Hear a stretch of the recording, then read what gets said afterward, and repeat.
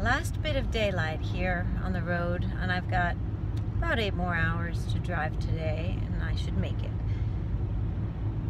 But I want to share something that just happened very briefly, and part of my whole life philosophy that files under my title Mage is what is it? I forgot while I was trying to explain what I'm talking about. I'm not gonna edit this one either. I like the excuse of getting away with shit. Sorry, I'm on the road, not editing. Can I be on the road forever and never have to edit and save myself hours and hours? No, I love my polished work. Get to the point, spit it out. Vision. Part of my dominant philosophy is that everything that is happening in the physical world exists exclusively as something that we're meant to learn through. Because the objective in my life, I shouldn't speak for all of us. This is me. This is my philosophy. My objective in my life is be the best version of myself I can possibly be. No excuses, no bullshit. Be your best self. You have all this potential. What are you going to do with it? How could you possibly lay on your deathbed one day and think, gee, I had so much potential, but I never did anything with it because I was watching Netflix and being afraid of what it might feel like to fail or succeed? Or afraid of what people who aren't even in my life might say about what I did. Who fucking cares? Ay, caramba.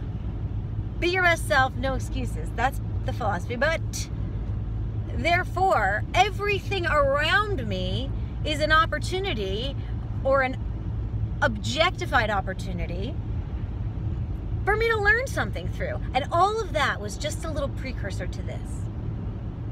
What I'm saying is, all is metaphor. All is metaphor. I think that, oh, crampy. I think that is Wittgenstein, but I thought something else was Wittgenstein and I was wrong. I just, I need to brush up on my Wittgenstein. Wittgenstein! As they would say. Still haven't said what I'm trying to say. My glasses. I've been wearing them all day, and I have these little pouches of lens wipers. I just cleaned them, and I had no idea how disgusting my lenses had gotten until I cleaned them and saw with clear vision. It's just that slowly over the course of the day, they got all smudgy. And because it happens incrementally, it just sneaks right up on you. You know, in the South, they have a, a saying, uh, something about a bullfrog. Mm, I don't know the saying. I wish I could. It's something like, uh, all right this is what it is. They say you never boil a frog by putting a frog in hot water. He jump right out. But you put a frog in a pot of cold water and then you turn the heat on and you just slowly, you'll never see it coming. And that's how you boil frogs. This applies to us. This is one such something that serves as a metaphor for us and how we operate. With my glasses, we can take my physical vision as a metaphor and my glasses being dirty and then getting cleaned and my sense of hadn't I'd not even realized that the I was being boiled. I didn't realize that my vision and now as a metaphor